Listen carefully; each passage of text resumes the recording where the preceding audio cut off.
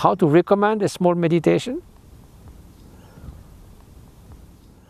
The one on altruistic love is just to, you know, settle your mind by watching your breath for a few minutes and then fill your mind, fill all your mental landscape with loving kindness, with compassion, thinking, may this person which I have in mind, this little child, that parent, that person I met in the street, may that person be happy, may that, uh, that positive aspiration of that person be fulfilled, may that person be spared suffering. If the person is suffering, may the root cause of that person's suffering be dispelled. So full of benevolence.